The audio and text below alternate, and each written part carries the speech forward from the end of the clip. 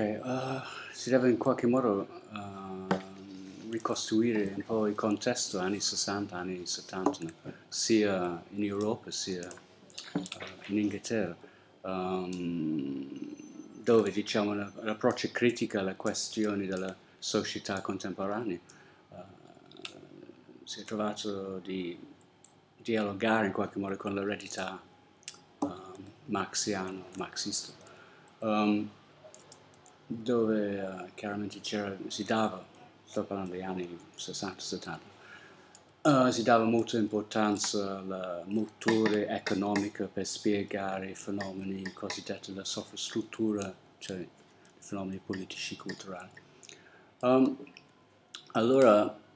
quello che è emerso è che uh, un po' dalla realtà quotidiana in Inghilterra in quegli anni, stiamo parlando degli anni 60, no?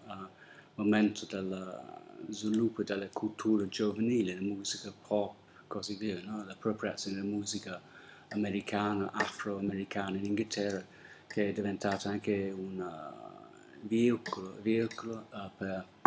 esprimersi no? attraverso le culture giovanili tipo Teddy Boys e così via, così via, Mods e rock e così. Allora, uh, il tentativo di spiegare questi fenomeni sociali attuali, cioè loro attuali, um, significa, era impossibile spiegare esclusivamente in termini di, in termini di un certo determinismo economico. No? O, sì, va bene, si potrebbe dire che è puramente il, un altro esempio dell'americanizzazione delle culture europee, però allo stesso tempo c'è qualcosa di più complesso che emerge perché um, anche se pensando solo alla musica si ha una, una situazione quasi paradossale dove non so, nella seconda metà degli anni 60 per molti bianchi americani la prima volta che hanno ascoltato la musica afroamericana blues è quando fu importato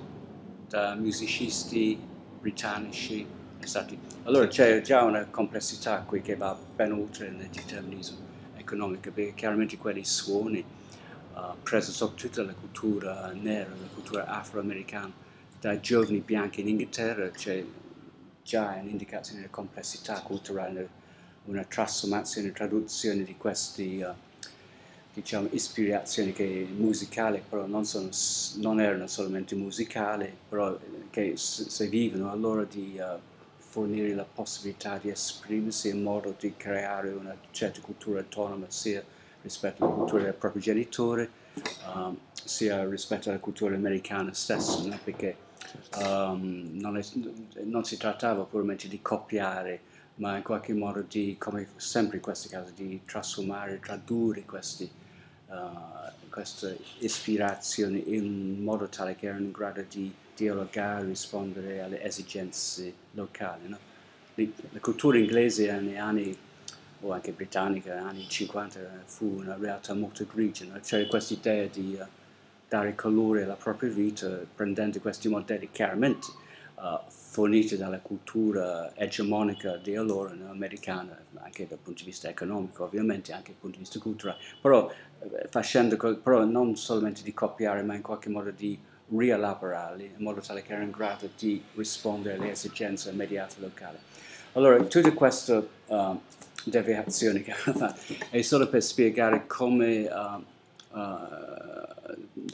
come l'idea di pensare criticamente uh, alla società britannica contemporanea anni 60-70 uh, emergeva questa idea della centralità delle culture, cioè è lì, anche se si tratta di fattori economici o politici, è lì nella, nel tessuto della vita quotidiana, c'è qualcosa che non può essere spiegato esclusivamente applicando una, un approccio economico, economistico o un approccio squisitamente politico uh, elaborato non soltanto da un partito politico che pensa di essere in grado di rendere tutto trasparente la propria volontà. No? Allora, eh, allora, da, questa, um, da questa realtà, se vogliamo, quotidiana, emerge, e chiaramente qui, cioè, quello che emerge anche qui è interessante, c'è un certo um, incrocio, se vogliamo, tra una certa tradizione radicale uh, sviluppato in Inghilterra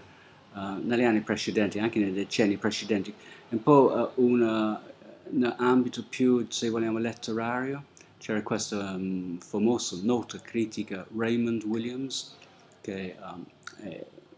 è stata, se vogliamo, una critica letteraria, però in cui lui ha, ha insistito molto sulla centralità di, um, della cultura come realtà uh, politica, parlando di pensare non alla cultura in modo come di solito si pensava allora sia in Inghilterra ma anche in Europa, no? come la cultura come se fosse una cosa con C maiuscolo, no? puramente latte, uh, di elite e così via, ma più, più vicino a, direi alle definizione, se vogliamo, uh, antropologica, no? la cultura come, come, lui chiamava whole way of life, cioè tutte le cose che costruiscono la vita quotidiana e così via, tutte le pratiche, e non squistamente la logica simbolica, ma tutte le pratiche della vita quotidiana. Allora, um, qui chiaramente troviamo, se vogliamo, un certo incrocio, un certo incontro uh, non previsto tra questa tradizione um, che, uh, che, ha elaborato in dissenso con la propria cultura letteraria, che in Inghilterra la cultura letteraria, ma anche in Italia,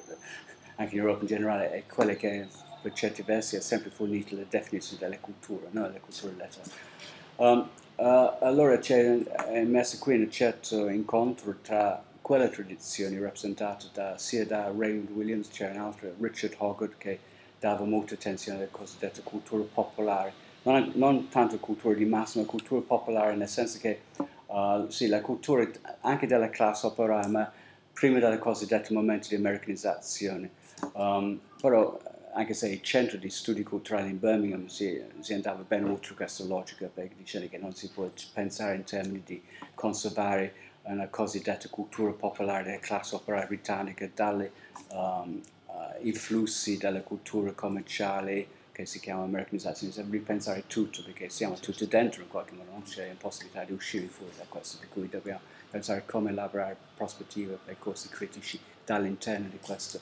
complessità che, che si chiama americanizzazione, però forse è meglio di parlare in termini di una certa complessità di, della modernità che prende queste forme certi, in certi momenti, in certe congiunture magari è rappresentata negli Stati Uniti, ma non non è stato sempre così e non sarà sempre così. così. Um, allora c'è questo uh, incontro molto uh, importante appunto da questo dissenso uh, che è messo all'interno della cosiddetta cultura letteraria inglese e britannica, rappresentata soprattutto direi da Raymond Williams e um, la figura di Antonio Gramsci, cioè um, la lettura che si è cominciata a fare ai centri per studi uh, delle culture contemporanee a Birmingham era chiaramente attirato dall'importanza, la centralità che Gramsci dava alla